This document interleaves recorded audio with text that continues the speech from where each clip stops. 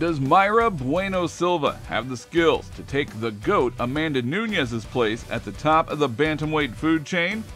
Well, maybe she does. But seeing is believing in MMA, so unless she takes out one of Amanda's vanquished foes in Holly Holm in style, nobody will be paying attention. Beating the preacher's daughter, however, is easier said than done. She's still a tough test for anyone in the division, even at 41 years young. So, who will come out on top at UFC Vegas 77 and cash in on an opportunity of a lifetime? Let's dive deeper into the potential title eliminator between former champ Holly Holm and rising contender Mayra Bueno Silva to find out. Mayra Bueno Silva was originally scheduled to fight Miesha Cupcake Tate, but after the former bantamweight champion suffered an injury and pulled out of the fight, another former champion and Holly Holm stepped in to save the day for Silva and the UFC. While Miesha Tate would have tested Bueno Silva's grappling prowess, Holm brings a very different and perhaps tougher challenge to the table. Since getting stopped by Amanda Nunes in their bantamweight title fight at UFC 239, Holm has won three out of her four UFC fights and is coming off of a decision victory against Yana Santos in March of this year. Even at 41 years old, the former champ is going strong and is taking out far younger contenders. So don't be surprised if she takes out another one, especially now that Holm is one of the favorites to capture the belt vacated by Nunes. Mayra Bueno Silva couldn't care less about what Holm wants or what the odds suggest. It's every woman for herself now, and with three wins on the trot, Silva will be entering the octagon on fight night with her confidence through the roof. An armbar specialist per se, Silva will be looking to snatch a limb or two whenever she gets a chance, but Girl can crack on the feet as well, and Holm would be making a big mistake if she underestimates her. The question is, can Silva match Holm blow for blow in an all-out striking battle? Who has the edge in striking? Holly Holm is one of the finest kickboxers in the UFC bantamweight division, and she likes to break her opponents down in mainly three ways. One of her keys to victory is range kicking, which she uses to outpoint her opponents but she also relies heavily on her counterattacks and her small spells of aggression, attacking her opponents with combos before moving out of the pocket in a flash. Against strikers, her range kickboxing works well, but against grapplers like Mayra Bueno Silva, she does a great job of turning her foes' takedown attempts into clinch battles, where she racks up some control points before separating with an elbow or two. The former champ's range kicking strategy has only failed twice against high level kickboxers like Germaine de Randamie and Valentina Shevchenko, but Bueno Silva doesn't pose that technical threat on the feet. What Silva will try to do is press home and initiate a clinch to either blast her opponent with big knees or go for takedowns, but here's the catch.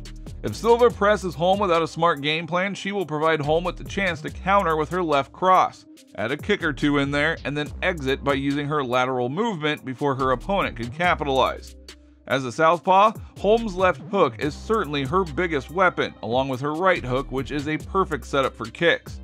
There are so many layers to Holm's game which Bueno Silva will have to deal with, but can she outstrike the Preacher's daughter in all-out striking battle?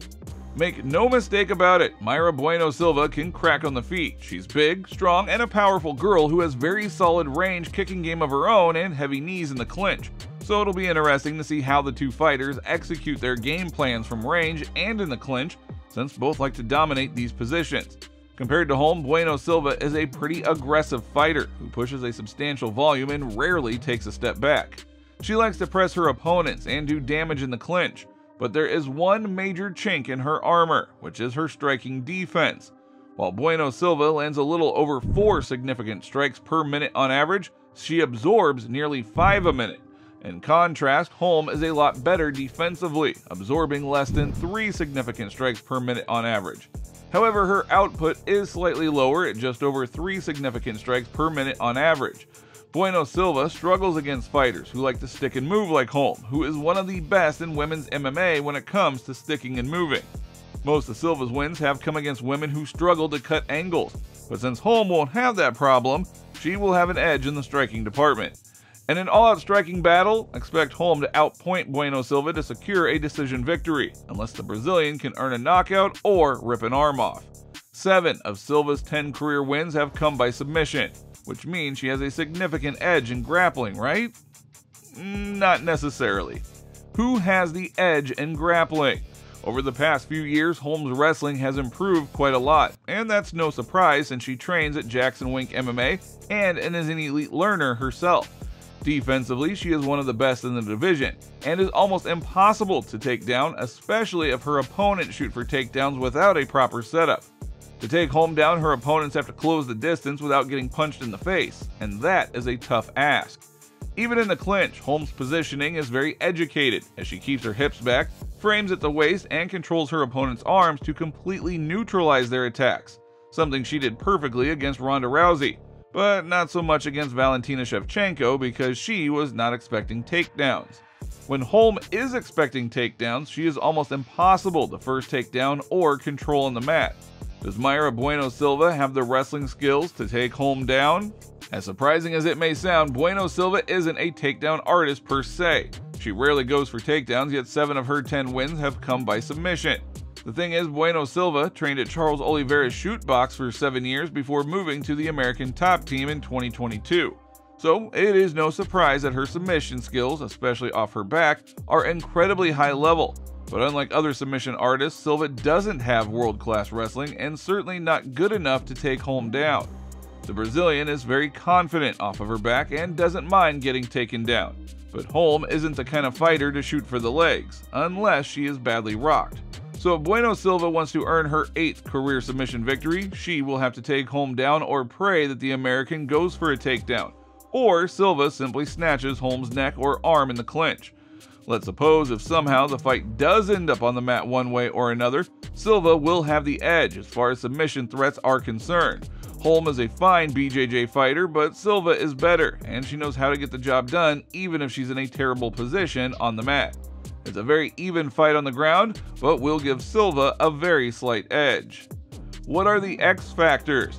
For Holm, the X factor will be her distance striking and combinations. Should the veteran manage to consistently attack her opponent from range using her crisp kickboxing combinations, she will most definitely outpoint Silva and secure a comfortable decision victory. Now add a head kick or two in there and a stoppage win will be on the cards as well. Holm is way more technical than Bueno Silva in the striking department, and she shouldn't have many problems dealing with the Brazilian come fight night. For Bueno Silva, the key will be to pressure Holm and outstrike her with sheer volume as well as dodging her counter shots, or initiate a clinch battle and blast the American with big knees to win some control time and catch her off guard with a takedown. The Brazilian can't afford to fight a technical striker like Holm from range. She is always going to have her work cut out for her in that situation. So who wins? That ultimately brings us to our prediction. Mayra Bueno Silva is a very talented fighter in the UFC Bantamweight division, but she doesn't have a big name on her resume. Experience wise, Holm is the better fighter, and we expect her to use her experience, striking superiority, and fight IQ to earn a decision victory at UFC Vegas 77. Still, it's a very close affair. So that's how we see the fight playing out, but what are your predictions? Let us know your thoughts in the comment section below, and for more fight previews and breakdowns, please show us some love by subscribing and turning on your notifications. Thank you for watching, and we will see you in the next one.